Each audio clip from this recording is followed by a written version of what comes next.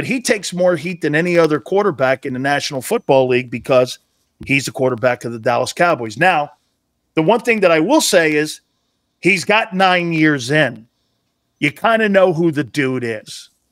You know what I'm saying? He's nine years in. Where are you going next year with him?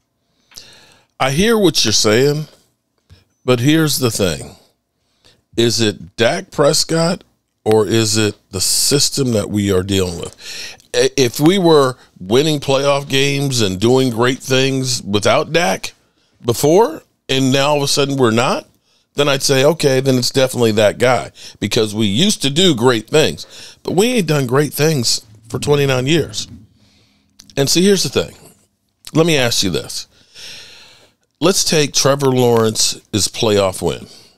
He threw five TDs, five interceptions, four in the first quarter where they were down 27. And he's one and one, by the way. Right. He's one and one. So they were down 27 nothing in the first quarter. Their defense only gives up three more points. They win 33 30, I think. So five TDs, five interceptions. Come back on the Chargers. Okay. So you look at that performance, and then you have Dak Prescott last year against Green Bay, three TDs, two interceptions, 400 yards. So was Trevor Lawrence's because they won, you know, to Shady McCoy's point that, well, wins are all that matter. Was Trevor Lawrence's performance good and Dak Prescott's bad? No. Or were they both bad? Those are team. This is what I think James Jones is pl- is is is referencing. I'm going to play this for you here.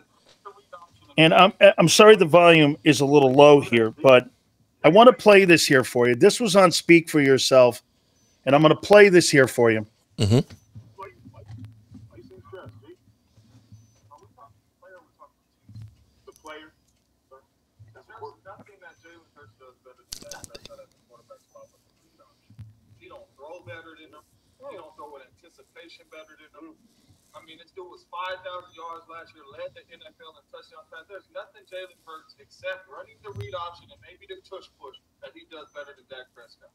And I like Jalen Hurts, and Jalen Hurts is going to be a really good quarterback in this league. But Dak Prescott, at this point right now in the National Football League, does everything better than Jalen Hurts at that quarterback spot. Mm-hmm. Does he what better? Is it a team goal? Or we're talking about a quarterback. That's because I. And that's that's where it goes back to. Now, I'm not going to say he's played great in the playoffs, although he did retire Tom Brady. He did pretty good against Russell Wilson. He actually went toe for toe his rookie year with three TDs and 304 yards against Aaron Rodgers. But you know, when we don't have a linebacker and we can't stop the run, it's a team sport, bro. You know, you know you, what though? You know, and, and and I think there's two com arguments to this, and I think it does defend because you're not paid on winning Super Bowls in this league. Mm-mm. And here, I want to play. I mean, my my Xander just said it right. So the, why, why, you why you seem stressed, G? Are we talking to player? or Are we talking to team success? The player, sorry. That's There's nothing that Jalen Hurts does better than Dak Prescott at the quarterback spot, but the read option. He don't throw better than him. Mm. He don't throw with anticipation better than him. Mm. I mean, this dude was 5,000 yards last year, led the NFL in touchdowns pass. There's nothing Jalen Hurts except running the read option and maybe the tush push that he does better than Dak Prescott. And I like Jalen Hurts, and Jalen Hurts is going to be a really good quarterback in this league. But Dak Prescott, at this point right now in the National Football League, does everything better than Jalen Hurts at that quarterback spot. Hmm. Does he win better? Is it a team goal? Or are we talking about a quarterback? Because because I, we, I put I put winning on the team. Because you need defenses and all that. Oh, so I don't, how do you take that comment, Mark, as a Cowboy fan? Well, because it made me think about this.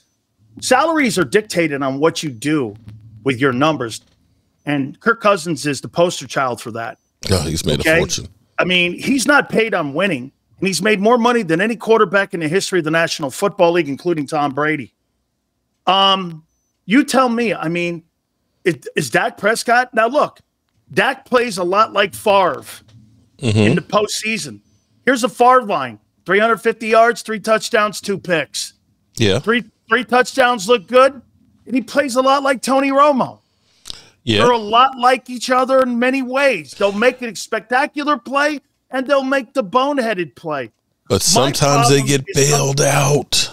My problem comes down to this when I look at Jalen Hurts, there's not a chance in hell I would build my team around Jalen Hurts over Dak Prescott. There's just no way. I can just sit here today. okay. Well, no, but but here's the one thing that he does do better. What's that? He okay, this guy knows how to, for whatever reason, make everyone better around him. I'll say something to you. Wait, wait, hang on here. He did not have a good year last year. Do we agree? I agree. Third in turnovers. I agree. But watch this. Well, he made a $30 million um, AJ Brown have a 15, almost 1600 yard year. Yes. He had a guy on the other side with 1200. There's a guy in Chicago now that just signed a contract who was on a one year deal and D'Andre Swift, who the Lions gave up on, who just signed a three year, 10 million per million dollar a year deal. He's made every guy around him successful. Did he struggle? Okay. Isn't the objective of that player to make everyone around you better? That doesn't make everyone around him better. Bro, bro, bro, bro, one guy better. Bro, bro, bro, bro. But no, uh, that's where you're wrong. Because I can take, um, damn, uh, from Green Bay. God, I, I'm I'm getting old and having brain farts. I'm hoping I'm not getting uh, dementia here. Um, shit. What Running back? No, wide receiver. He was with Green Bay. Um, he's free agent out Cobb? there right now. Yeah, Randall Cobb. Randall Cobb, 2014, 2015, was beasting. The last three years he was with Green Bay, his numbers plummeted. He was literally down to 400 some yards. Green Bay said, See ya. We're done. He comes to Dallas, has almost 900 yards, six TDs, and gets a $27 million contract to go get Deshaun Watson to throw to him, where he reverts back to the 400 and some yard guy and proceeds to get cut, goes back with Aaron Rodgers and proceeds to have 400 some yards. You can take Dez Bryant's yards per completion, his most by a yard was with Dak Prescott. You can take a guy like Allen Hurns, who ended up basically being just about off the NFL, comes to Dallas, has his career numbers. Everybody who then leaves typically most of the time, with the exception of um, Amari Cooper, just drops off the face of the earth. Amari Cooper was forced out because the salary cap and the twenty and million they that's didn't want to pay him. Well, they don't want to pay anybody, and I, I, can go back to where you're saying. I'm not saying Jalen Hurts is a bad quarterback. I'm not saying that he's not making people better around him.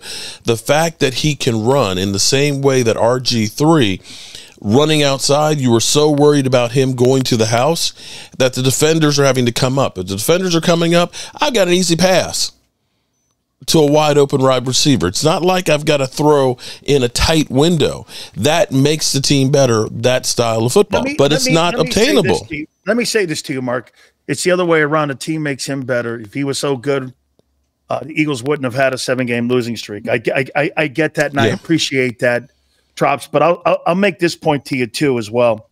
You know, when I look at Dak Prescott, does he exude confidence in your opinion when it comes to winning a title, or do you have a little more confidence when you're sitting around Hurts?